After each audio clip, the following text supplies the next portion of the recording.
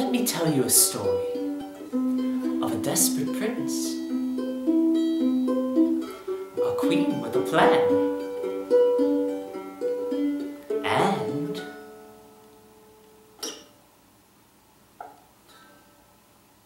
oh, I knew there was something else. Peach, pear, pumpkin, pomegranate. Ah, yes.